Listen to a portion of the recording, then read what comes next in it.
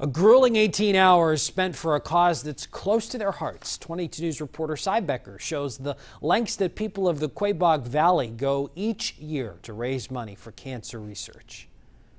From 6 o'clock Friday evening until noon Saturday, the Belchertown High School track was where people from the Quaboag Valley walked in support of their cancer survivors.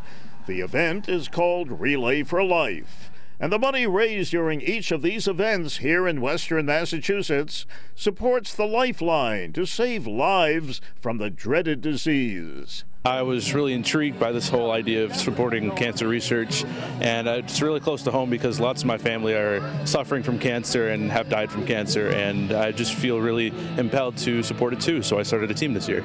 Each participant, many wearing the shirts denoting the efforts as a cancer caregiver, have a similar story to tell.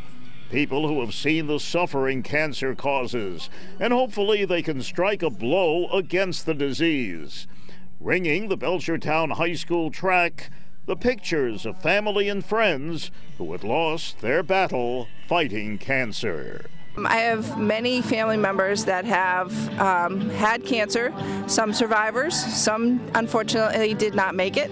Um, so I'm here to help to raise money to find a cure. I'm proud to have represented 22 News prior to the start of the Survivors Walk Friday evening.